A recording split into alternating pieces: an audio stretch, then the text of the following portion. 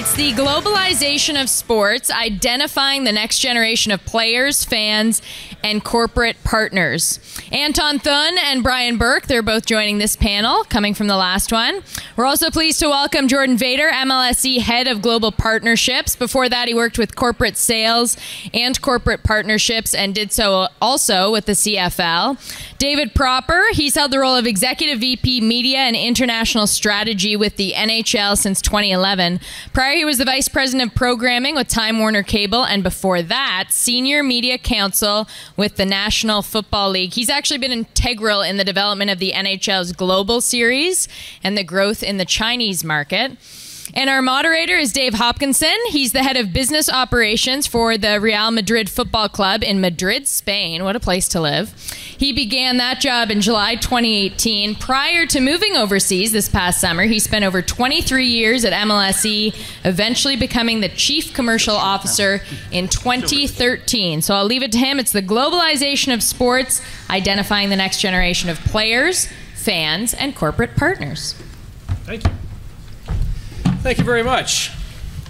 So, gentlemen, we have got an esteemed panel here. It's a bit, bit, a bit of a scramble play, but we put together. I, actually, I'll tell you what. I think this panel is, a, is an upgrade, and I may, want to make sure that that gets back to Bez, uh, if you wouldn't mind I'll there, sure of it, yeah. Um, globalization in sports. Um, somewhere along the way, the world got very, very small very, very quickly, especially the sports world. And I remember this uh, hit me very dramatically a few years ago. About five years ago, I was in China and we were looking at some data. And what uh, I, we learned at the time was that at that time, the most recognized face in the Chinese marketplace was no longer Mao Zedong. It wasn't Chairman Mao. It, he, he had been surpassed by LeBron James. And it was just one of those things that, that really hit me. And I, I want to ask our panelists in a minute here when they realized the world was getting uh, so small and so rapidly. You can't go to a business conference now without hearing about transformation, business transformation, and without talking about innovation. And I think very often when we hear those things, we think digital, because digital is disrupting our world, necessitates business transformation, necessitates innovation, but I, I really do believe that globalization in of itself is necessitating this business transformation. So, Dave, talk to us about the NHL, a league that um, is uh, rapidly expanding internationally. When did it hit you that the world's getting really small, and, and, and how is the NHL viewing this and, and responding to this changing marketplace? Well, well, when it hit us, God, I don't know. It, it seems like every time we take a look, we see more and more international, non-North American players in our league, and certainly when you look at superstars, we're uh, blessed to have a number of non-North Americans playing in our league that are superstars at this point. I think it really started to hit when we started to get players and and uh, federations and media partners asking us to start doing more internationally. We sort of felt like there was a lot of the players would come over and they would get lost in their local communities. And that probably happened until the digital boom started to hit, and now people were much more available and people could get a lot better content, a lot more content, and a lot more one on one with these players. And then there became a significant demand for us to make them more accessible. That obviously culminated for us uh, initially in the playing of games and bringing players back to their, their uh, locales like Nico Hischier to Switzerland or uh, Leon Draisaitl to Germany. But that whole concept of getting smaller is really you have to be very careful. And that's the thing that we've found more than anything else is as small as it's gotten it hasn't really changed in terms of the way the world operates as you might imagine. And so i think one of the mistakes we made is we misconstrued or, or a number of people made we misconstrued smaller for simply we apply what we do here everywhere else. And one of the biggest challenges that we've had on a going forward basis has been accurately targeting each market in the way that's specific to that market and not mistaking the fact that the world has become smaller for the world has become homogeneous. And that's been probably the biggest challenge we've focused. So you're talking about time. regionalization. Correct. And so, how many international offices would the NHL open now? We've obviously got Canada, we've got the head office in New York. Have we got other international offices? Do you use partners? How, how do you solve for regionalization? Yeah, well, what we've done, we're in the process of opening offices, and, and, we're frankly right now focusing very hard on trying to open an office in China. It's, there's a lot of things you have to go through, but I expect that China and Europe will have offices opened in the near, very near future. I think we're a little behind on that. Where we have really focused our efforts to become regionalized is by working with local partners, by working with companies that are very familiar with the sports landscape. Even if we had an office that was up and running, I think having that expertise across a wide variety of different areas has been instrumental to us, whether it's media or um, uh, sponsorship or games or any kind of events kind of uh, process. Got it. Thank you. So, uh, Jordan, uh, the team perspective. Uh, as I think most of the audience knows, the NHL, the NBA, Major League Soccer, you have not really got your rights outside of a defined home territory. So, uh, how do you and how does MLSE view the opportunity and, and, and perhaps some of the restrictions around international development of, of your team brands and your team businesses? Absolutely. Now, there's a few kind of inflection points that, I, that I'll share around our, our few sports um, that we run that I think gave us some perspective on the global opportunity. Um, you know, it was probably 12 years ago now when we're starting Toronto FC. I think we're sitting, uh, and, and, Dave, you know this, we probably had around 3,500 season seat holders, and then David Beckham signs with the LA Galaxy, and all of a sudden, uh, a little North American uh, Major League Soccer league became an internationally recognized league. Another moment of inflection, I think, for us on the on the world of, of soccer, football, was when Sebastian Giovinco, probably one of the best Italian footballers in the world, footballers in the world, in his mid 20s, decided to come to, to Major League Soccer and you know live out the prime years of his career here in Toronto, play Major League Soccer. Um, on the hockey side, um, one of the biggest eye openers for me, you've got you know Hockey Night in Canada, longest standing show uh, in Canadian history, something like 70 years, um, highest viewed show uh, in prime time throughout any week. Yet it's about a fifth of the audience that's watching on CCTV in China on any given night when the Maple Leafs play. So that was a bit of another, you know, eye opener for us. Um, you know, building on that, you know, when it comes to, to basketball, I think I think there are a bunch of times. I think you, you date us back to the Dream Team and seeing the impact that uh, you know the Dream Team had years ago uh, the NBA, kind of being one of the first to discover the the opportunity in the in the Chinese market. Um, but I look back a couple years ago and I started seeing some of the rights and distribution deals for content that um, that the NBA was doing, and you realize the size and scope of the fandom, and it forced us to pay a lot more attention in terms of what the commercial opportunities would represent for us. Anton, uh, uh, you've been in the player business your entire career. Has that business always been global? Has how is how's your part of the business uh, changed? Uh, the, the, business has been global, I guess, probably since the first. Uh, when I when I say global, it's not really global. It's North American based and European based since the first Europeans came over to play in the National Hockey League. Uh, we represent some clients that are from Europe. So we've had some German and some Finnish and some Swiss and some uh, Swedish players and some Danish players for that matter. Uh, so it's global to that extent. I, I think that the sport the, the national ho- the, the sport is a global sport. I don't think that the National Hockey League has a global footprint. Um, the opportunity to me, I think you had mentioned, I used, I'm going to use your words, the NHL is rapidly expanding internationally. I don't think they're rapidly expanding internationally at all.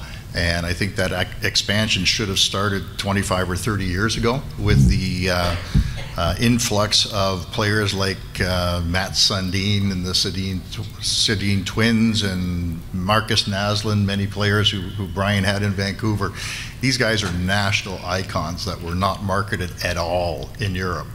And we now have Elias Pettersson with Vancouver, and we have Nick Backstrom with, uh, with uh, Washington Capitals these guys are heroes back home, and we really need to do something to maximize the sport in Europe that we haven't been doing before. I think the NHL is now taking some incremental steps. Um, I think changing uh, games on Saturdays and having the broadcasts at noon or at one o'clock in the afternoon so that audiences in Europe can watch them in prime time is great. Um, that could have been done 25 years ago. This is not a new concept the, the, the, the, the fact that there's 24 time zones has existed for a long time. Okay, so we've really got to get off our collective butts in hockey and understand that we are competing with LeBron James. We are competing with the NFL going to London. We are competing with every sport that is played in Europe to get a uh, market share over there. And if you look, you know, you're now at Real Madrid. Yes. If you if we use the model that the Premier League teams in soccer and Real Madrid and Bayern Munich have used and expand on those uh, in terms of getting eyeballs and ears. Um, paying attention to our sport, I think we'd be a lot better served. I think the NHL has reluctantly not invested any capital in Europe for years, and they need to start doing that. And they already have a very cultivated marketplace for hockey there. It's not like you're going to China, and in China, the challenge will be different because we actually have to create a hockey culture in China. In Europe, we already have in Northern Europe a, ho a, hockey culture that exists, and now we need to figure out how to monetize that. And the way we do that is, I think we, we do that by bringing the game to them. We bring that game to them either on the internet during prime time hours. I would suggest that the National Hockey League should seriously consider bringing the, their all-star game to London or Paris or Berlin and showcasing all the superstars of the National Hockey League 50% of which are going to be Europeans already. Okay, and being a little bit more creative in terms of how we market this sport in Europe and potentially in China. Well, you, you know, I, I, want to just kind of double click on China, and David, I want to give you a, chance to. I just, I just wish I'd known it was so simple. I could have just run out and done it. Well, look, I, I mean, let's let's, so let's just talk about that a little bit. To me, it seems like China presents a really big opportunity. Uh, hockey is uh, not well penetrated there Correct. yet. And, and yet we've got a Winter Olympics coming to Beijing. Uh, uh, the the uh, Prime Minister has said he wants 300 million new participants in winter sports between now and the Olympics. 300 million. I mean, this, that is just a little smaller than the size of the entire United States. So, D David, tell me about the league's efforts in China. We'll just ask a little bit more about that since, since we, that's, it's come up. Sure. Uh, so we started about three years ago investigating China and seeing what that opportunity could look like. In the context of looking at that opportunity, we met with business leaders, we met with the government, we met with basically anybody that we could, NBA China, anybody we could get some background before we step foot into the country to really get a sense of the way you can go into a country like that. You can't just run in and demand what you want. It doesn't work that way. So we took us about two years to really get enough of an infrastructure set up where we could get teams to want to go over there and play games. In the context of that, we started media deals where we cultivated relationships with CCTV and Tencent to get our games on at all, which they had no interest in it for the last 10 years. Um, we were able to get that, build that, get some people who were behind what we wanted to do. Then we worked closely with the government to get them to instill a ball hockey program in some of the uh, school systems to try and get young kids more involved in the sport we began running clinics where we tried to get kids to see what it was like to play the game. Mm-hmm. The fact is, as you point out, in a country of 1.4 billion, there were about 5,000 registered hockey players. So we had a lot of work to Zero. do. Yeah, basically. Right. So we had a lot of work to do to try and teach kids about what hockey is about. But we were using the government's interest in the Olympics to try and build that, to follow through that, and figure out how we could uh, target into that. What became clear from the government's perspective is they wanted us to play games. So we brought over two teams. We did quite a bit of work there in terms of that. That being said, there are other areas we would like to get into, but we simply can't because right now it is very difficult. For example, licensed content and merchandise. Very difficult to get that into China with all the tariffs and all the things that you need to do. We are in the process of working with uh, Fanatics, our partner, to do that, but that's part of what we're trying to, to figure out. Also, anytime you play games in China, you're talking about a major trip for a team. So you have to really figure out who's going to want to do it, who's going to be prepared to do it, and how is it going to work. So yeah, there's a ton of things I'd love to be doing in China. We'd love to be playing regular season games there. We'd love to be having primetime uh, telecasts there. There's lots of things, but realistically, each market, as I said at the beginning, you have to analyze in its own case. And in China, we've got a long way to go. Hopefully, we can pull something together where we've actually got some business inroads by the Olympics.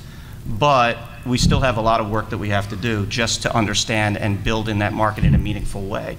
You look at the NBA, it took them 15, 20 years to get to the point where they actually built what they have now. We can't be under the impression that we're going to somehow be NBA China in, in five years. We've got a lot of work to do there. So, Berkey, you've, you've led a bunch of teams. Tell us, I mean, let's talk about China.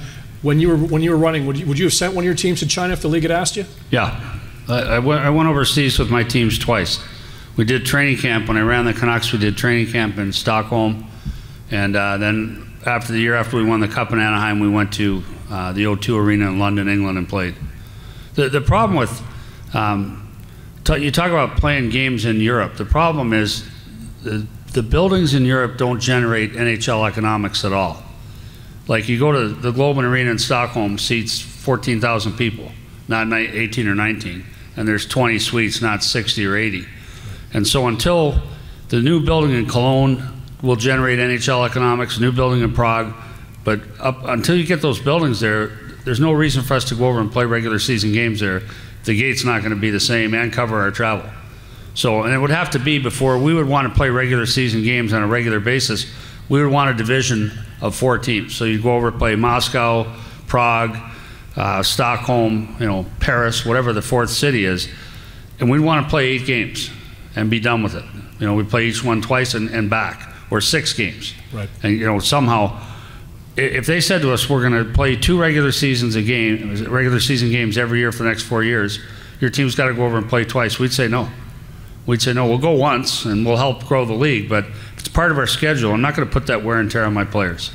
So I think we're a ways away from it. I think we're going to get there.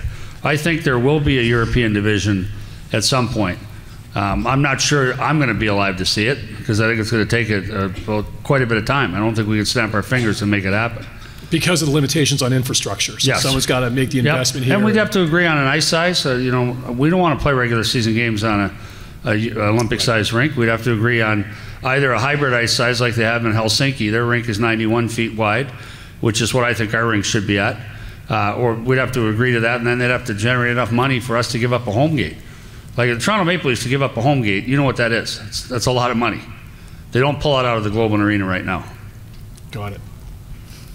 David, do you think that as you're talking about international partners, that is that a potential lane that the league might consider driving down? Is finding uh, a partner, a, a- a Deutsche Bank, a, a someone who might want to put cash in in exchange for an equity position in the league, or is that sort of too fantastic to consider right now? Yeah, I, I mean, look, it's a dangerous proposition because I don't know how we would value it at this point. I mean, that's been the big question mark is I will agree that we have place, we have a long way to go in terms of where we can fully build and how we can fully build. I think that there are things that we're headed in the right direction. I think there's still a lot that we have left to do, and there's a lot that we will do. But if we're going to run out with an equity position right now, we would be doing it in a position of weakness, in a position of we don't know what the valuation is. And what it really comes down to is there will come a point in time, I suspect, in China, where there will be an equity position. I don't think, I don't realistically think that happens in Europe, but in China, I could definitely see that happening. And right now, it's just too early for us to pull that together. Yeah, I, I I understand exactly what you mean. You know, it is it is a speculation business at that point. I remember uh, about five. Uh, someone should fact check me. It was about, about five years ago that the NBA sold 10 percent of NBA China off to uh, ABC Disney. ABC Disney. And every team got a nice check, and we're all wondering. It's nice to get a s- you know a check for 10 percent of something that really isn't really on your radar. And I don't think we'll ever know was it the right size check, the wrong size check, was it the right time? So, it's uh, it is a speculation. Yeah, it's, it's, it, it's a real analysis that you have to do, and it's something that you just, you have to be willing to take the risk of undervaluing if you're going to do it. And there may come a point in time where we have to do that in order to put in the kind of capital we need to to do the things we need to do in China, because it isn't cheap. But we're, we're going to take it slow and make sure we do it the right way. But I think, I think if I could just comment on that in, relation to the NHL in Europe and China, one of the barriers to entry that, that exists in China, uh, that perhaps the Chinese government's going to be willing to, to undertake is the cost of infrastructure. You know, building hockey arenas for minor hockey players as much as it is building a, a 19,000 seat arena in one of these cities is a huge capital project. You know, arenas here in, in Canada probably cost $5 million per pad. That's a lot of money that you don't need if you're playing soccer or basketball uh, for the most part. Um, the same thing happens in Europe. So there's no doubt to, to Berkey's comment. I think the National Hockey League is not going to go or shouldn't go to, to Europe until the physical ins- infrastructure for National Hockey League hockey is there. The difference between Europe and China right now is the infrastructure at the lower levels already exists. And the NHL, to my mind, needs to take some of the capital that they're receiving from the expansion franchises from Vegas and Seattle. There's $1.15 billion coming into the coffers, and as opposed to that money just going into um, somebody's bank account, take $50 million of that, which is what, 5%, less than 5%, um, and now create a business plan in Europe where you're actually um, uh, sowing the seeds of growth in Europe um, the reality of it is, to, to my mind, that based on working with clients from Europe and traveling to Europe many, many times over the last few years, the caliber of hockey in Europe is actually getting worse, not better. And I, I don't say that the players are getting worse. The caliber of hockey that's being played in Sweden or Finland is getting worse because those players are chasing the dollars here in North America.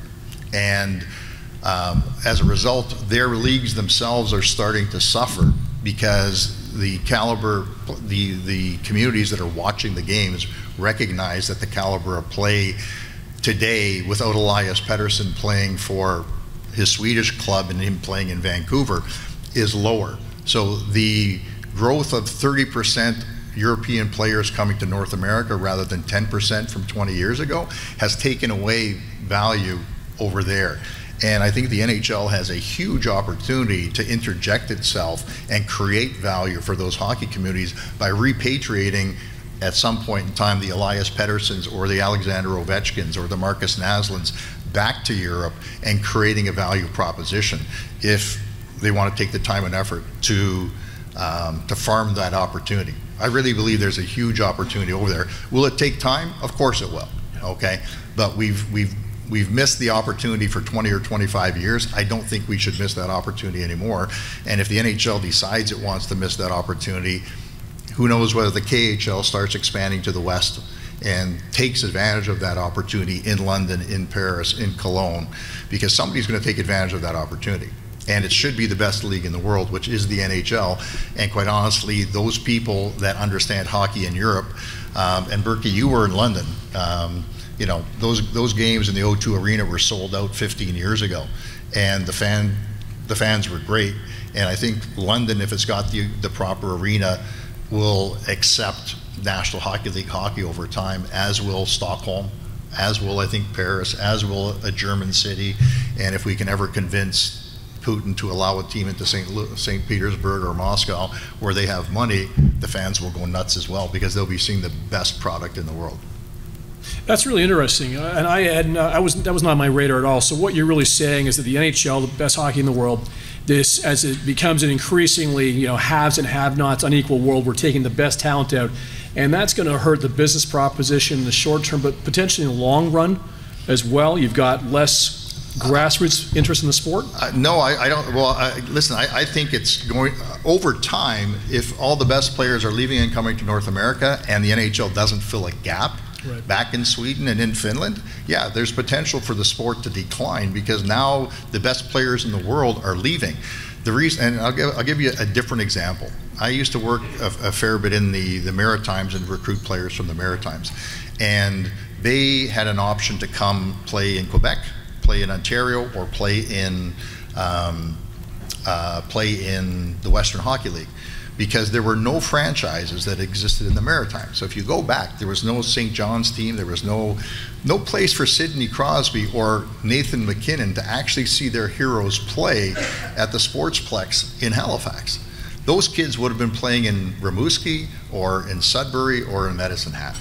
And the generation of players that has come out of the Maritimes in the last 15 to 20 years, once the Quebec Major Junior League expanded, to Quebec, and the players from the Maritimes were required to play in the Quebec League rather than playing all over Canada, has grown exponentially. And the talent that has developed from Sidney Crosby to Nathan MacKinnon to others, right. you know, uh, uh, is, is incredible. It's no different than the impact that the Raptors had on the Toronto marketplace for basketball. Look at the kids that are coming out of Toronto now that are playing in the NBA, and it's because they could see, they could feel, they could touch the product if the NHL goes over to Sweden and people can see and touch the product, the mindset that their loyalty, which currently exists to AIK or Djurgården or Modo or uh, Färjestad, will supersede the NHL, I think is a load of crap. The NHL will go in there, all of a sudden, everybody's going to see Elias Pettersson playing for Stockholm, and he will be the hero of the nation, and the, the team in Stockholm will be the team for the country, as will the, the London Lions, as will the Paris Fleur de Lis, or whatever, because their homegrown kids are now playing at home, and hockey will thrive in Paris, and hockey will thrive in London, and hockey will continue to thrive in Stockholm because they can they can live it, they can touch it, they can feel it, they can breathe it, and the media will pick up on it and start promoting the sport because the reality of it is, the NBA and the NHL in North America get free advertising. Okay, the media comes and watches the game and broadcasts the game. In Europe, you're not getting that. The, the media in Europe doesn't care about the NHL because they can't smell it, they can't feel it, they can't touch it.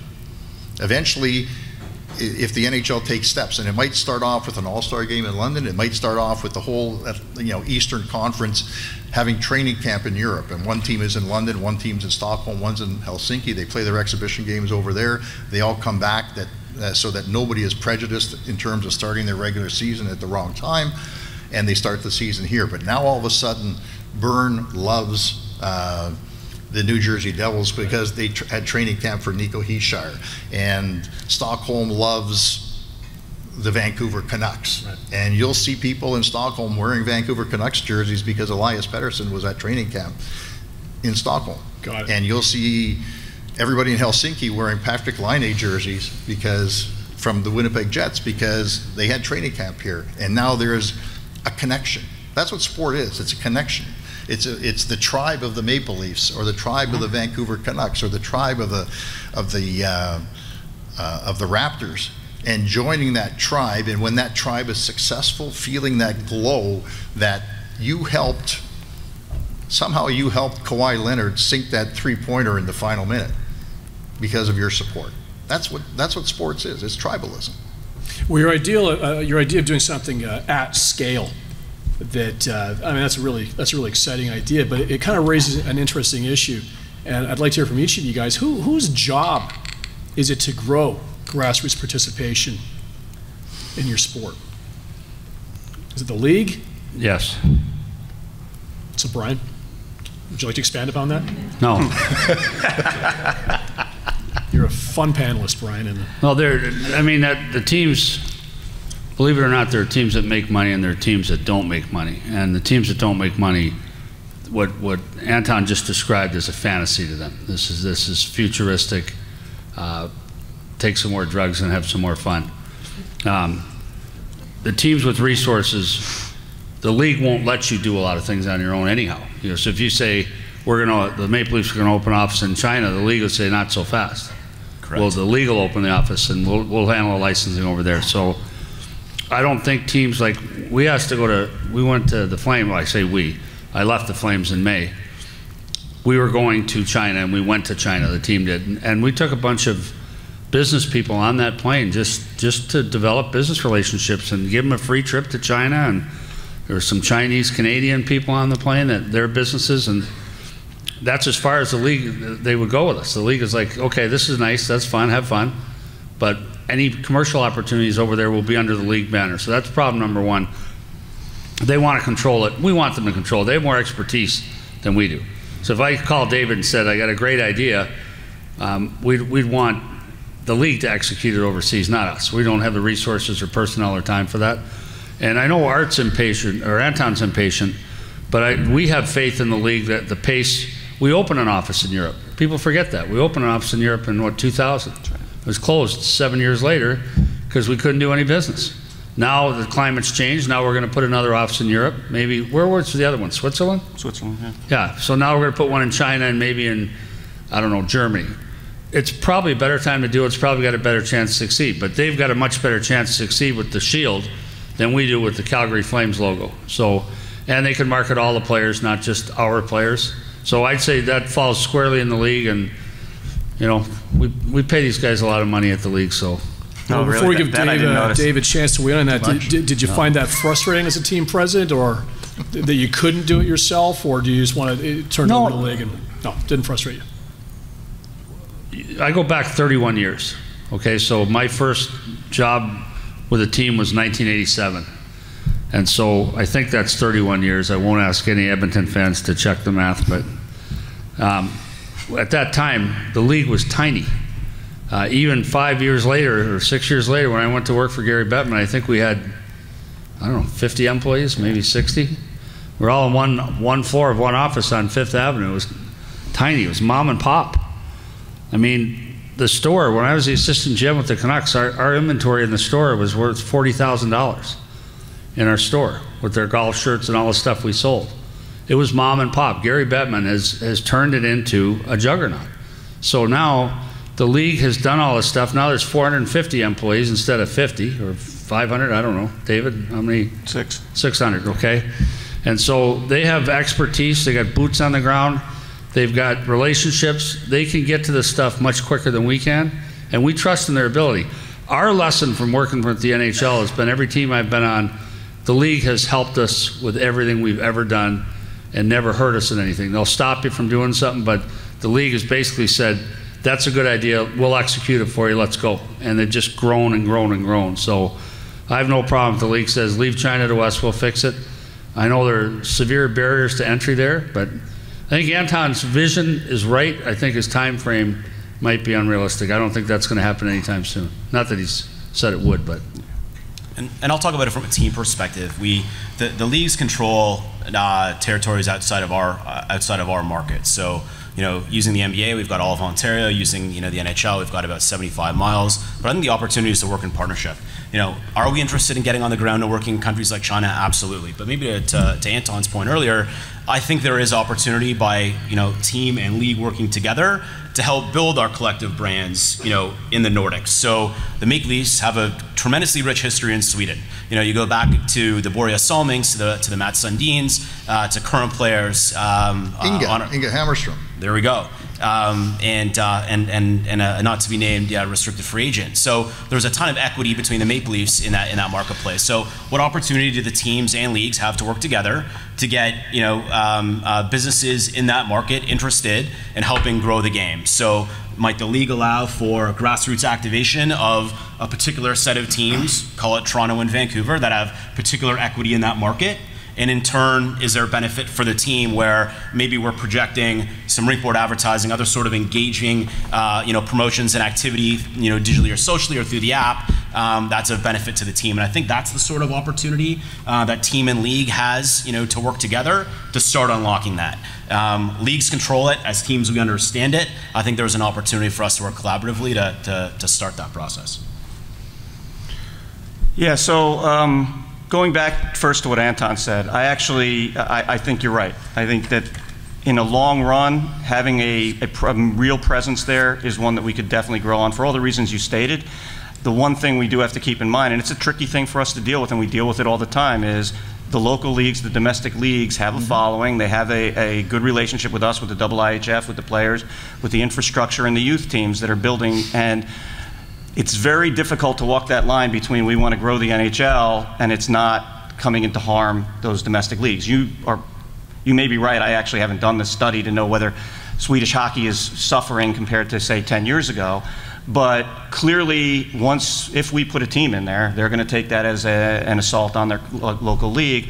That's why we try to be careful. We try to figure it. We try to take it all into account. All of that being said, it's one of the many factors we take into account that also um, take into account the points you made, which are, are dead on correct. I think from a, when you asked who executes this, yeah, it's the league, but the fact of the matter is we can't do it without the commitment of the teams and the commitment of the players. So as much as we go into Sweden and we want to build or do, or like this last, last two weeks ago, we're in Finland. Finland was great. By any account, it was a phenomenal experience. But it was also a phenomenal experience because the Jets and the Panthers did everything they could to build it.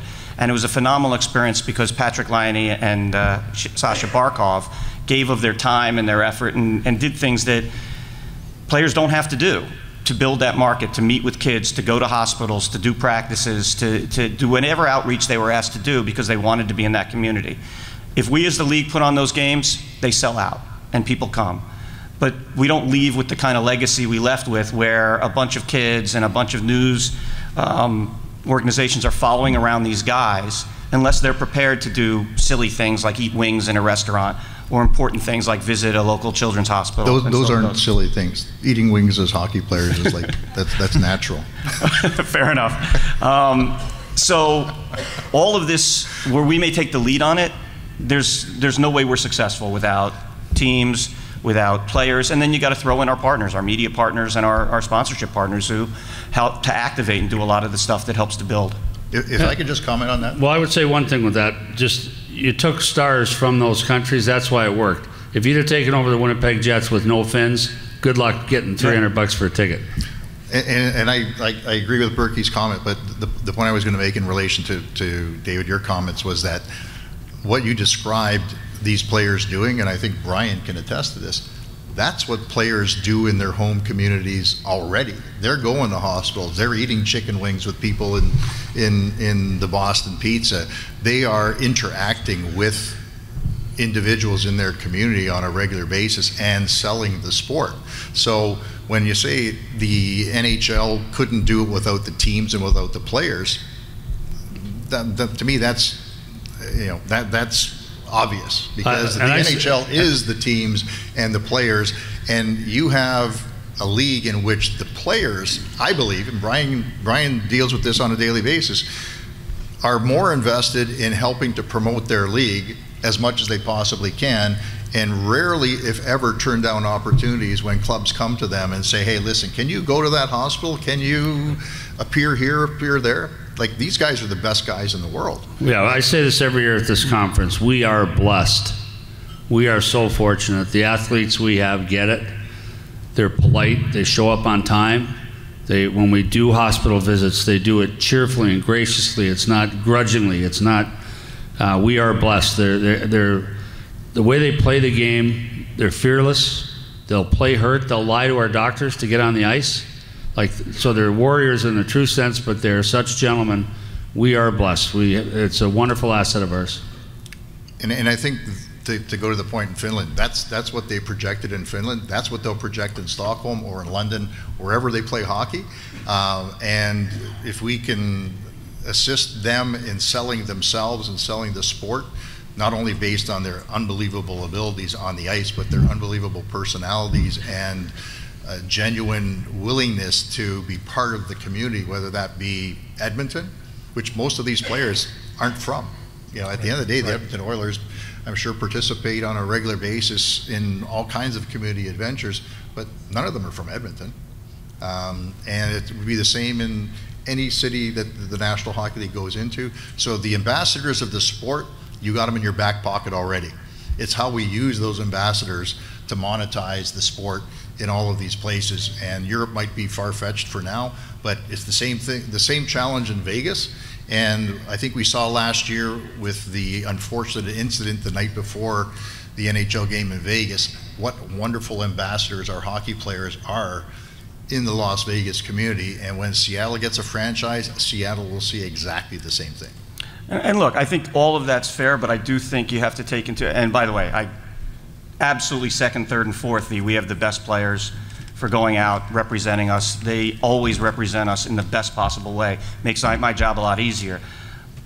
But there is a fundamental difference between trying to promote the NHL in Finland with Patrik Laine and Sasha Barkov and trying to promote the NHL in London with no United Kingdom players.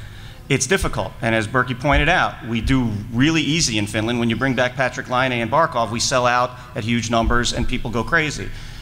There's a strategy that you have to build, and you see a perfect example is the NFL. The NFL has been working at the UK for it's got to be close to 25 years now. They don't have a lot of players from the UK. They started with, we're targeting this market, and we're gonna, just going to keep coming back and back and back. And they'll tell you for the first, I'm guessing 15 years, it was loss leader. And it may still be, I don't know.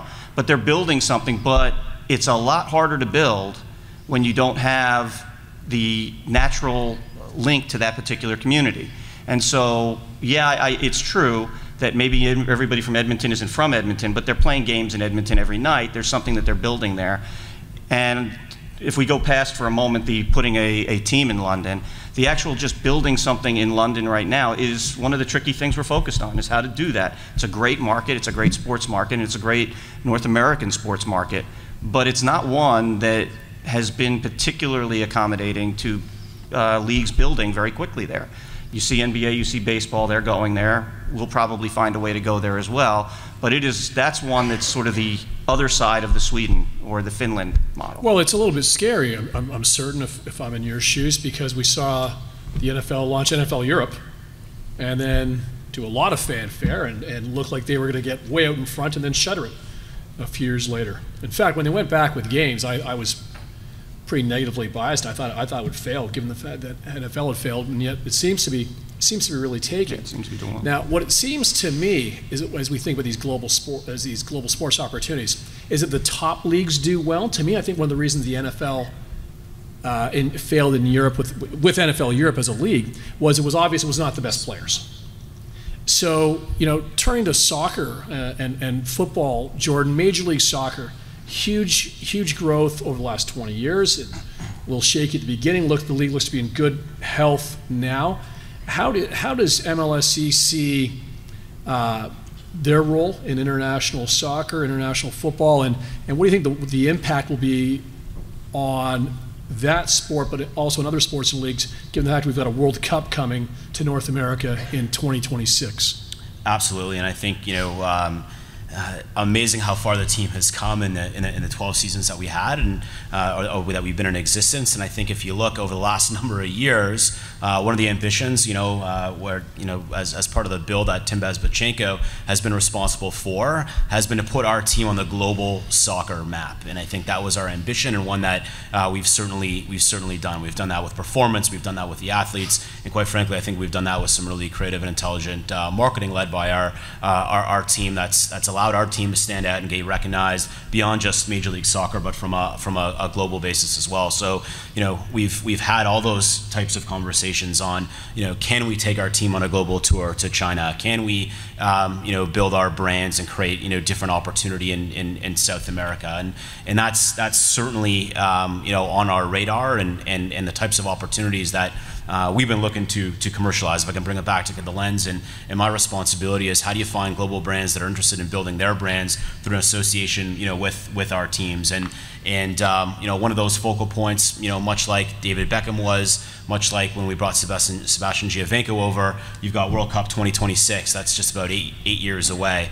And I think as uh, you know, the, the world uh, the world of football, you know, dawns back on you know on our market. I think it's an incredible opportunity to you know to you know to, to connect back to some of the points that Anton made around um, you know what do the you know what do the Sidney Crosbys and and uh, Nathan MacKinnons do?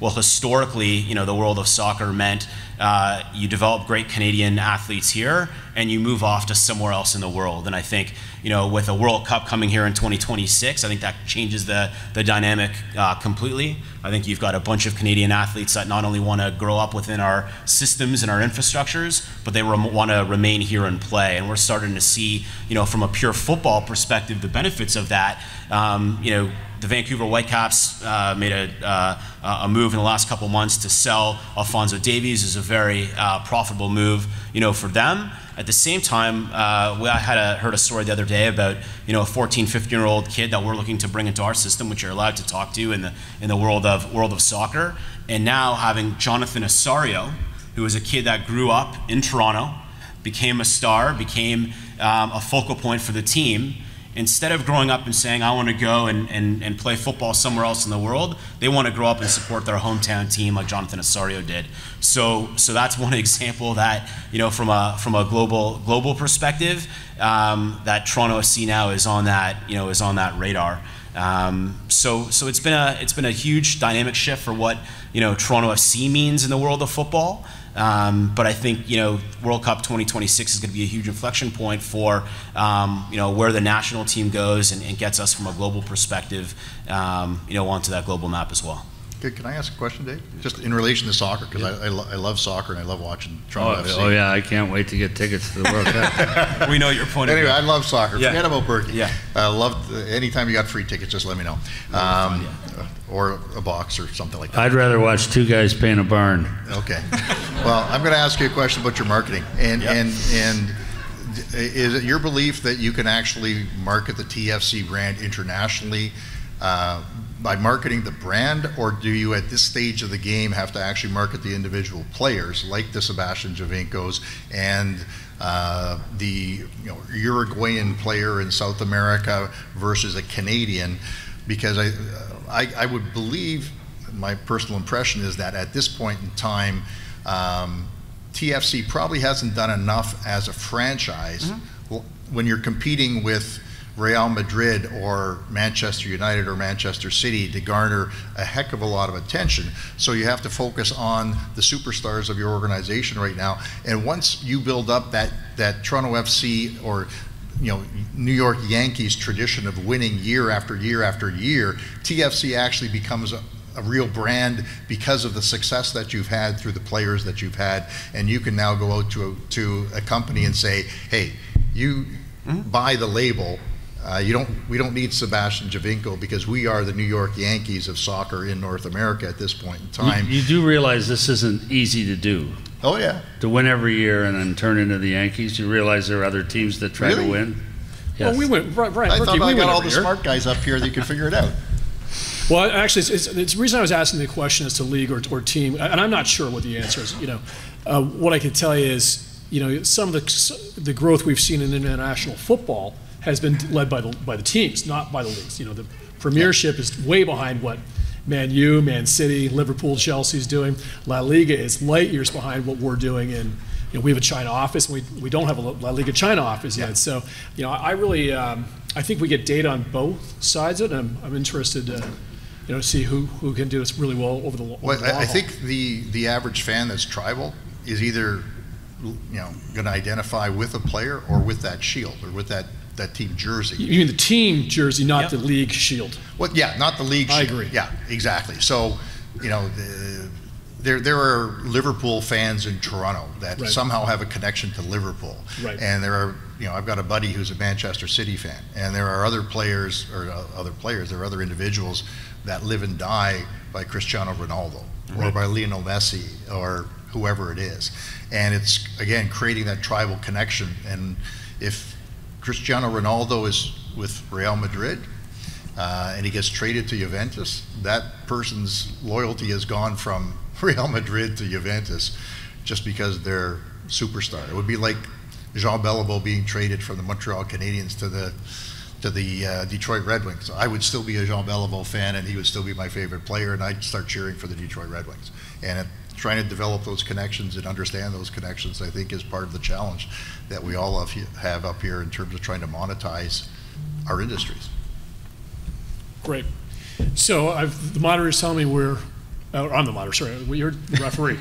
telling me that we're, we're late on time. Do you want to take questions, Burkie? How do you want to do this? You're the moderator. Yeah, great. We've left some time at the end here. Uh, we've got a great panel of esteemed big thinkers in this space, and we want to ask anybody up here a question.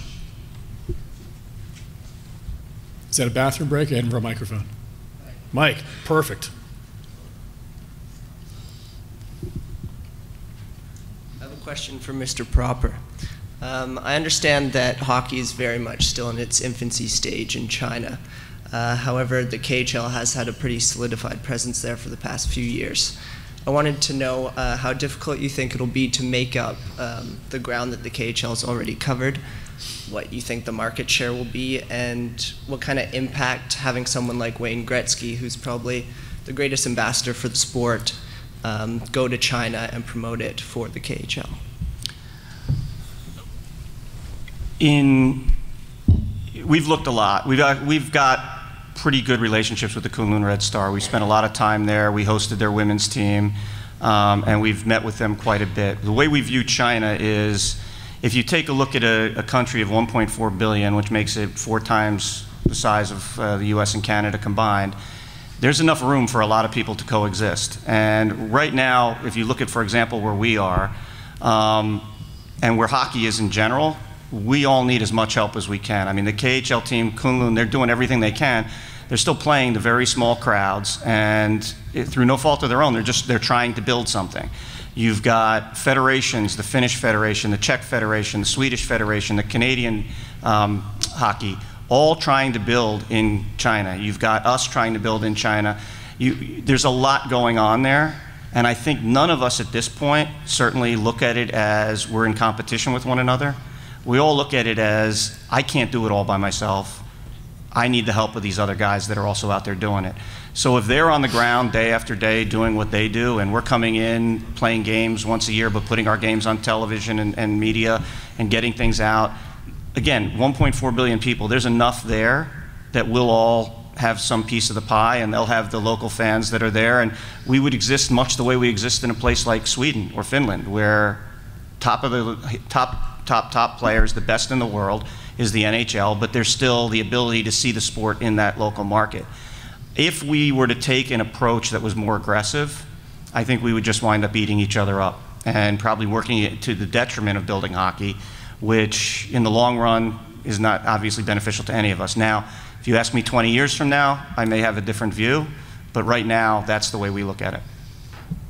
If, if I can just comment on that, I know the question was directed towards David. I, I don't think the impression that you gave that, that Kunlun is that established in China is really the truth. I, I don't think they've got a really strong foothold at all. Um, I, to, to me, what's happened with the KHL is the KHL has historically gone into uh, untraditional marketplaces and tried to buy their way into the situation because of economic deals rather than hockey deals. And those have failed in Zagreb, Croatia, and a lot of other cities in, uh, in Western Europe. I think it's going to fail in, in China as well because they, uh, unlike what I think the NHL is trying to do with the Chinese government, is to actually create an infrastructure that's lasting. Uh, and I don't really think that what Kunlun is doing is really lasting. It's just it just happens to be a, a professional hockey franchise in uh, in China that's part of the uh, Continental Hockey League, and I don't know that it's particularly well run or well attended or well marketed. Well, that's it, isn't it? I mean, you know, if you get a cash infusion, you can have fun for a little while, but at some point, it's got to be self-sustaining in those marketplaces. You know, I, I've spent some time in China consulting with the Chinese Basketball Association, which is not bad basketball, and we've got you know former NBA stars there on their way on their way in, or their way out sometimes. Uh, 17 teams not one turns a profit. I, I agree with that summation about, about the KHL team too. I don't think they've built up any equity whatsoever. So it's nice right at the end of the panel I can agree with something Anton said. Well, it, it, to me, it's just a venture that Gazprom finances for the Russian government to try to get into a marketplace, and when it doesn't work after two or three years, they pull their money out and the team folds. I guess we'll see. We'll see. hey, thanks for agreeing. Great.